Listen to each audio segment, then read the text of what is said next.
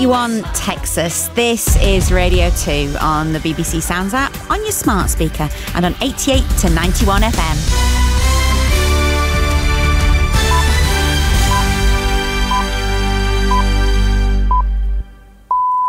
BBC News at 9 o'clock on Sunday, the 24th of July. Good morning, this is Catherine Cracknell. A third day of delays is expected at the Channel Tunnel and Port of Dover. A senior judge says too many divorce cases are ending up in court, and success and disappointment for Great Britain at the World Athletics Championships. A major incident alert remains in force at the Kent port of Dover and the Eurotunnel terminal at Folkestone, where efforts are continuing to clear the backlog of lorries heading to France. Holidaymakers and hauliers are being warned of another day of disruption. Our correspondent in Kent, Simon Jones, has more. The port of Dover and the Channel Tunnel have been working through the night to begin clearing the backlog of 1,500 lorries parked on the M20. At Dover, the delays for tourist traffic have eased, but some Eurotunnel passengers say they've been forced to spend the night sleeping in their cars trying to get to the terminal. The major incident declared on Friday remains in force, while the blame game continues. The government said the French authorities had failed to mobilise enough border staff to check passports and demanded action to resolve what it called this terrible situation. But the French Transport Minister Clément Beaune said France was not responsible for Brexit with the additional border checks it brings. The focus of the Conservative leadership race is switching to immigration, with both candidates setting out measures to control the UK's borders.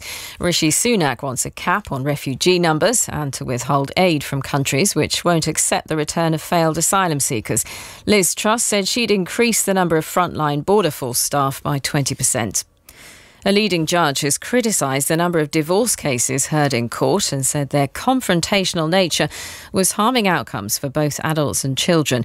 In a rare interview for a sitting judge, Sir Andrew McFarlane compared the issue with the divorce battle made famous in the 1979 film Kramer vs. Kramer.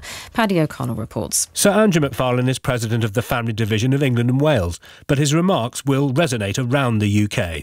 He said thousands of cases were rightly heard in court because of safety concerns for adults and children involved.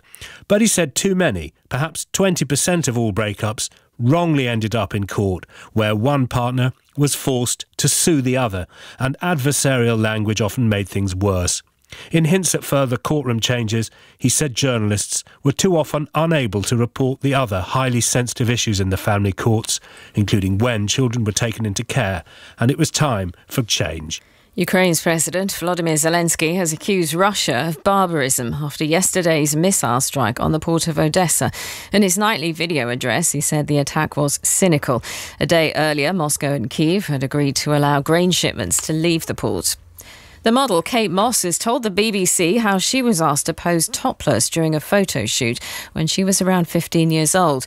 She told Desert Island Discs she ran away from the session after she was told to take off her bra. Tyler Allen reports. In a wide ranging interview, Kate Moss said there were several moments in her career when she felt uncomfortable about being told to pose without clothes.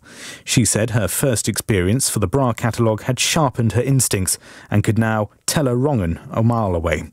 She also said she was reduced to tears when she was 16, when the late photographer Corinne Day told her to take her top off during a modelling set for the Face magazine. She said she had not felt comfortable being naked, but added the pictures were amazing and had helped to launch her career. China's launched the second of three modules needed to complete its ambitious new space station. The module contains sleeping quarters and laboratory space and will be joined by a third compartment in October. The Chinese authorities hope the station, called Tiangong or Heavenly Palace, will be operational by the end of the year. Great Britain have won their fifth medal at the World Athletics Championships in the United States. The men's 4x100 relay team claimed bronze, but there was disappointment for the women, as our sports correspondent Andy Swiss reports from Oregon. The British men's quartet of Jona Efoloko, Zharnel Hughes, Nethaneel Mitchell-Blake and Reece Prescod managed to hold off Jamaica on the home straight for a battling bronze medal. Ahead of them, the favourites, the US, were pipped to the gold by Canada after a mistake with their last baton change. Earlier, the British women's team were right in contention as Dina Asher Smith ran their third leg, but she pulled up just before handing over the baton and they finished sixth. Afterwards, Asher Smith said she didn't know what had happened. My legs stopped corresponding with me, she said. The race was won by the US, who edged out Jamaica by four hundredths of a second. And the weather mostly cloudy in northern areas with heavy thundery spells of rain in places. It'll also be cloudy further south, although sunny and very warm in the southeast. Top temperatures of 27 Celsius in London, 24 in Cardiff, 22 in Edinburgh, and 20 in Belfast. And that's the BBC News at five past nine. Thank you. Hello, good morning. Listen live on the BBC Sounds app. All right, then I will.